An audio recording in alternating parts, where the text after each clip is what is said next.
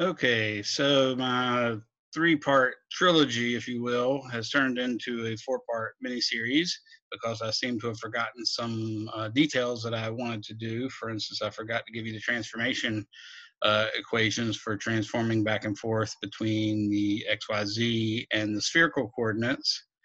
And I forgot to work out some of the uh, magnitudes of the r hats and the theta hats and the cylindrical coordinates. And even though I spelled them out in here uh, in the spherical coordinates video, I think it'd be best if I go ahead and show you that as well.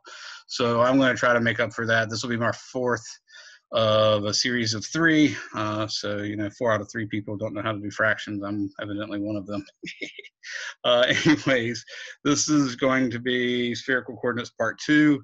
And like I said, I'm going to finish up a few things and uh, in spherical coordinates as well as in cylindrical coordinates. So let me go back to my document cam. I know you just want to see my face, so you know, obliging.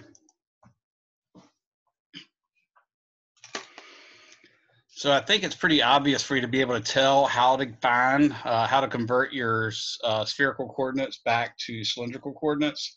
So, for instance, uh, it might be difficult unless you've learned of the, uh, the three-dimensional Pythagorean theorem, uh, which hopefully you have. But just in case, what we can think of is, hey, let's take this and pretend like we know this quantity right here, rho, because I know that quantity rho is on a line that is perpendicular. It's actually in the xy plane, so it's perpendicular to the z-axis. So I know uh, z already so I know that r squared is equal to z squared plus rho squared, just from the Pythagorean theorem, right? Well, that's cool because rho also turns out to be this quantity up here, which I think you can tell is r times the sine of phi. So I'll say z squared plus r squared sine squared phi. Okay, so we're getting there. Uh, the problem is we've got the rho and we've got the z, uh, but we don't really know r. We're in terms of r. So what are we to do? That looks kind of confusing, right? Well, we're trying to get rid of all the the uh, uh, spherical coordinates. So what we could do is we could say, well, wait a second. If I know what rho is, I wouldn't have to substitute that thing. Well, if I look at rho, oh, that's just the hypotenuse of a triangle with one leg x and another leg y. So rho squared is equal to x squared plus y squared. So now I can substitute that in there and I'd get r squared is equal to z squared plus x squared plus y squared, or r, and this is the final one, is equal to the square root of x squared plus y squared plus z squared. So that's how you convert XYZ to R. Of course, that's just R. We need R, we need theta, we need phi, because remember, these unit vectors are in fact actual functions of theta and phi. So if I want to know what theta is, that one's pretty straightforward. We know that from the previous uh, cylindrical coordinates video. That just happens to be the inverse tangent of y over x.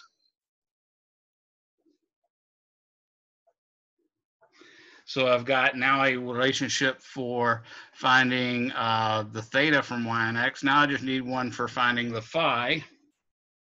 And I think that is also pretty easy. Clearly, now that we know what r is, we can find what phi is because phi would be the inverse tangent of opposite, which is rho, which we know, over hypotenuse, or excuse me, inverse tangent over, over z. So, excuse me. So the inverse tangent of phi, uh, or excuse me, the tangent of phi should equal rho over z. So the uh, phi should be the inverse tangent of rho over z. So uh, the rho is in fact x squared plus y squared. And then, of course, this is z on the bottom. And of course, this has got to be the square root of x squared plus y squared. Sorry about that. So that's the uh, change in coordinates from x, y, z to the actual r theta phi. Let me double check, make sure everything's right. I know this is x squared plus y squared plus z squared. That works. I know that tangent equals y over x. So inverse tangent of y over x should be theta. That works. Uh, I know that tangent of phi should be opposite, which is rho, which is the square root of x squared plus y squared over adjacent, which is z. So square root of x squared plus y squared over z. Uh, inverse tangent of all that gives me phi. Now, what about converting, uh, say, from uh, r theta phi to actually uh, x, y, z? So I think you can uh, figure out what that is. If I want to have an equation for x, okay, I see that x is going to have to be uh, gotten from rho basically, because it has to be this part. So it's going to be basically a projection of r into the xy plane. So I'd have to say r times the sine of phi, and that gives me rho, and then I want to take the cosine of theta. So, which happens to be, by the way, the same thing as this, but without the r in front of it, and that's uh, not a coincidence, by the way. Okay the y transformation would again, I'd have to take the r and project it down into the xy plane. And when you project it down into the xy plane again, you see it's uh, sine phi times r. So I'm going to say r times the sine of phi. But now I've got to get this part, which is the sine of theta. And then finally, z. z is just going to be the cosine of phi times r. So r cosine phi is in fact z. And notice that is also the parts of this. So in principle, when, uh, when you're dealing with uh, spherical coordinate systems, really all you have is a vector r can be expressed by r times r hat. And r hat, of course, is a function of theta and phi, and we gave it right there. Okay. So uh, the the definition that I was alluding to earlier is that r hat should equal a directional derivative, which we call dr over dr. But then I got to divide by its magnitude, so it'd be dr over dr magnitude. So if I just take the derivative of this, which is little r times all these things, if I take the derivative of it with respect to r, I think you'd see that the r is just going to disappear because everything else is a constant. You're taking the derivative with respect to r, it's like multiplying by four and three and four and two and uh, three, right? So that's why we got exactly that. Similarly, the theta hat would be dr d theta over the magnitude again.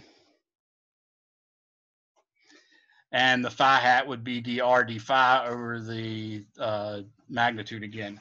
And they would also give you those same formulas. So that's something I left off. Uh, something else I left off is calculating the actual magnitude of r hat. I again spelled it out for you, but let me work on that for you. So if you remember the, uh, the three-dimensional Pythagorean theorem, which we sort of just proved a second ago, we can take this and realize that r hat is just equal to sine phi cosine theta i hat plus sine phi sine theta j hat plus cosine phi k hat. So the Pythagorean theorem tells us that the magnitude of r hat is actually equal to the square root of sine squared phi cosine squared theta plus sine squared phi sine squared theta plus cosine squared phi. Again, I just proved that a second ago by showing you that I could get this from x squared plus y squared, but then that is perpendicular to z, so x squared plus y squared is this length, square root of that is this length, the square root of x squared plus y squared is this length, square, the z is the uh, length of this one, so if I square them both, that'd be the square root of x squared plus y squared squared. So that just becomes x squared plus y squared plus the square of this, which would be z squared. Take the square root, I get x squared plus y squared plus z squared, which is what that was. So now I'm doing the same thing. I'm going to first off show you this by uh, factoring out the sine phi in the first term. So it's sine squared phi of cosine squared theta plus sine squared theta plus cosine squared phi. That's all that's left after I factor those two out of there. Of course, sine squared, cosine squared plus sine squared is just one. So this ends up becoming the square root of sine squared phi plus cosine squared phi. Of course, that's also just one. So it's the square root of one, which is one. So we see that, in fact, uh, r hat is, in fact, uh, unit vector. Theta hat, on the other hand, so we're doing double duty here by doing theta hat. Uh, we're doing it for the uh, spherical coordinates as well as for the cylindrical coordinates. Uh, remember, phi, uh, theta hat was negative sine theta i hat plus cosine theta j hat. It's only got two components, so I square those. That becomes sine squared theta plus cosine squared theta take the square root. Obviously, sine squared plus cosine squared is 1, so I get square root of 1, which is just 1. So that one's done. And then there's phi hat. And of course, phi hat was cosine phi, and then cosine theta i hat, plus cosine phi, sine theta j hat, minus sine phi k hat. Again, using our three-dimensional Pythagorean theorem, uh, we get phi hat magnitude would equal cosine squared phi cosine squared theta plus cosine squared phi sine squared theta plus sine squared phi. Square root of all that stuff, of course. I could factor out a cosine squared in here and I get square root cosine squared phi of cosine squared theta plus sine squared theta. Clearly that's just one, but I also have plus sine squared theta, or phi, excuse me, left over there. So that ends up becoming square root cosine squared phi plus sine squared phi which you know for a fact is in fact one. So that's square root of one, which is just one. So now I've shown you that r hat, theta hat, and phi hat are all unit vectors as I calculated them.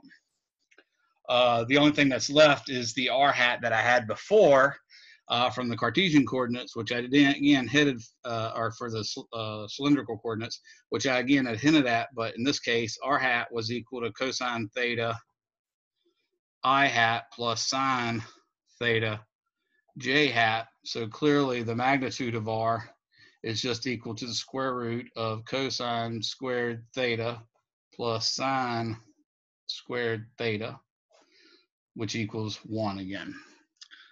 So that's easy peasy. I think that gives it all. Uh, I did an integral of a dv for the cylindrical coordinates and was able to show you that the volume of a cylinder is pi r squared h.